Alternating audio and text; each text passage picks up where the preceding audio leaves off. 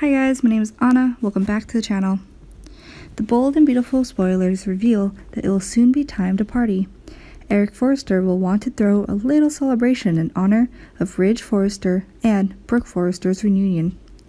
Eric may view this as a chance to concentrate on the future and have a happy gathering for once. Thomas Forrester's wedding to Zoe Buckingham was certainly a total disaster. That was about as sad as it gets but Eric will be hoping for better shining this time around. Unfortunately, it looks like Eric will be the one that's going to end up disappointed.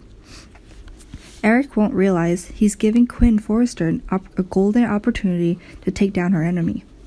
BB, sp- BB viewers know Brooke and Bill Spencer are keeping something big under wraps. They recently kissed, and it turns out that smooch was secretly recorded once Quinn scores this footage, she'll know exactly what she has to do.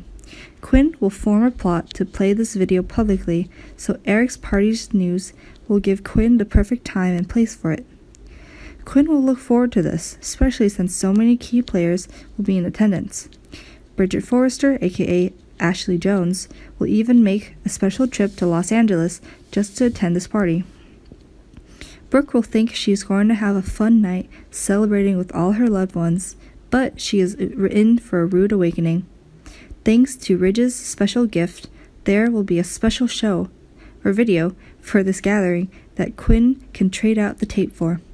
That'll give her the ideal opening to create confusion and a shocking scandal. Keep in mind that Bill will surely will surely be at this gathering with Katie Logan. Between Bridge and Beatty, the bold and beautiful spoilers say there'll be double the trouble. Quinn's scheme could rip both couples apart on the spot.